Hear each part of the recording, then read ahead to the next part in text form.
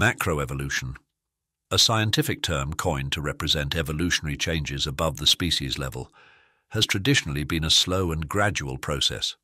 However, the appearance of a cosmic anomaly, commonly referred to as the Tear, has prompted scientists to re-evaluate this conventional understanding. The anomaly, which materialized just beyond the edge of our solar system on July 16, 1945, has been linked to rapid macroevolutionary changes, unlike anything previously observed. Richard Goldschmidt, a prominent German geneticist, was among the first to suggest that macroevolution could occur through significant mutational changes, a theory that was largely ridiculed during his time. Known for his hopeful monster hypothesis, Goldschmidt proposed that new species could originate from large-scale genetic changes, also known as macromutations. Goldschmidt's research gained new relevance with the emergence of the Tear, prompting a re-evaluation of his theories in light of the rapid and unprecedented evolutionary changes observed in its aftermath.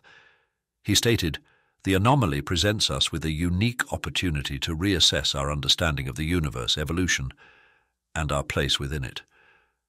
The impact of the Tear the Tear's presence in our solar system had catastrophic effects on Earth, causing global tragedies and resulting in the loss of over 700 million lives.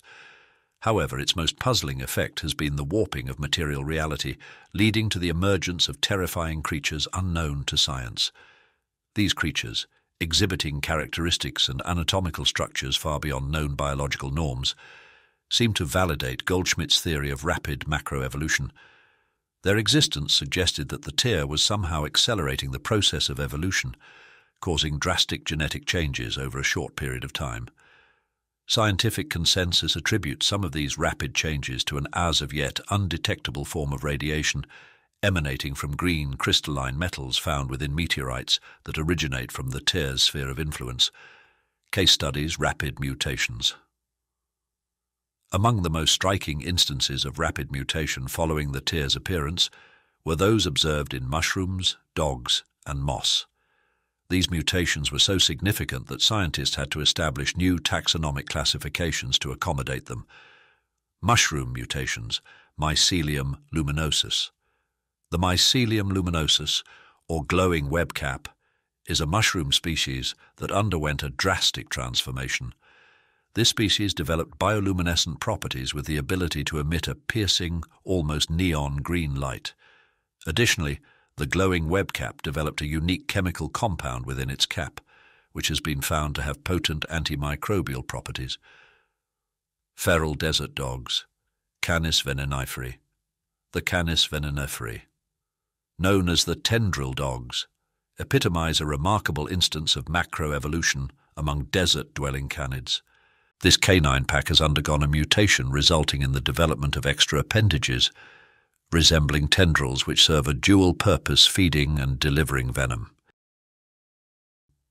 These tendrils, covered in A-toxic fur, enable the tendril dogs to capture prey and inject venom for subduing their quarry. Researchers are currently delving into the multifaceted functions of these newfound adaptations within the tendril dog's biology, moss mutations, Bryophyta crystallum. The Bryophyta crystallum, or crystal mossimad, is a unique moss species that developed crystalline structures within its cells. These structures, which emit a faint musical hum when exposed to sunlight, are believed to aid in photosynthesis, allowing the crystal moss to survive in low-light conditions. The implications of rapid macroevolution. These instances of rapid macroevolution challenge traditional evolutionary theories. While Darwin's theory of evolution by natural selection remains valid, it appears to represent only one mechanism by which biological change can occur. Goldschmidt's theory of macroevolution, once considered controversial, now stands alongside Darwin's as a plausible explanation for the rapid changes observed following the anomaly's appearance. However, the challenge now faced by the scientific community is to understand and control these rapid macroevolutionary processes. The survival of the human race may depend on our ability to prevent or manage these sudden, sometimes violent mutations. Further research. The rapid macroevolutionary changes induced by the tear present a wealth of research opportunities.